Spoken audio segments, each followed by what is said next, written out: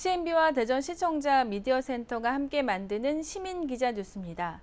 리빙랩 사업을 통해 만든 보행 보조기가 제품 발표회와 제작식을 통해 대덕구청에서 소개됐습니다.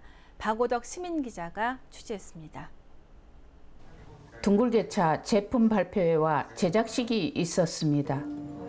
관계자들이 참여하였고 그동안 설계와 제품의 수정 보완으로 최종 완제품에 대한 설명회도 가졌습니다. 특히 한남대 대학생 동아리팀은 보행보조기 개발을 위해 밤낮으로 모임을 가졌으며 연구와 제작을 거듭하여 둥글게차 제품에 대한 과정 설명을 들어보는 시간도 가졌습니다. 손이 미끄러지는 것을 방지하고 그립감을 더하기 위하여 자전거 손잡이를 사용해 안정적으로 만들었습니다. 또한 의자에 앉는 도중 의자가 밀려 낙상 사고가 발생할 수 있- 있는데 의- 바퀴 자체에 브레이크가 포함되어 있는 것을 사용하여 낙상 사고를 방지하였습니다. 그리고 등받이를 수직으로 만들어 완전 커버를 사용해 편안함을 더했습니다. 등받이 부분에 가방이 하나 걸리긴 한데 더 많은 수납 공간을 위하여 의자 밑에 중탄을 달았습니다. 또한 참석한 기관 관계자들은 최종 제품으로 제작된 둥글게차 제막식도 가졌고 조립되는 둥글게차 안전점검 기술단 위촉장도 전달되었습니다.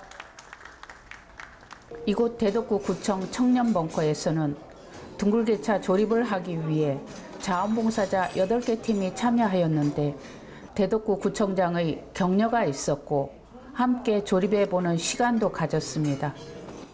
자원봉사자로 참여한 한 시민은 어르신들을 위해 조립에 참여하였는데 처음에는 어려웠지만 조립을 해가면서 잘할 수 있게 되었습니다. 처음 해보는 거라 조금 이렇게 어려웠는데 자꾸 해보니까 이 정도 생기고 아, 이 정도라면 제가 하- 같이 할 수 있겠다라는 생각이 들고 차후에라도 직접 해봤으니까 또 이렇게 문제가 생겼을 때 계속해서 같이 도와드릴 수 있을 것 같습니다. 조립을 직접 하면서 이거 사용하실 어르신들의 생각을 하니까 기분이 좋습니다. 또한 한 어르신은 심장 수술로 숨이 차서 걷기가 불편하였고 시장을 볼 때 물건을 손에 들지 않고 둥글게 차에 싣고 올 수 있으면 많은 도움이 될 것이라 하였습니다. 뭐 많이 도움되지요. 걸을 때는 진짜 빨리빨리 매장으로 못 걸어가요. 숨이 차서. 수술하고는 숨이 더 차요. 시장 봐서 얹어서 밀고 다니면 얼마나 좋겠어요. 좋은 거 만들어 주셔서 너무 고맙고 감사하지요.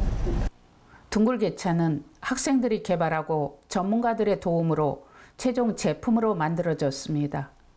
많은 어르신들 지원을 위해 자원봉사자들이 조립하고 안전점검 기술 위촉단의 점검으로 안정성을 높여 선정된 어르신들에게 제공될 것입니다.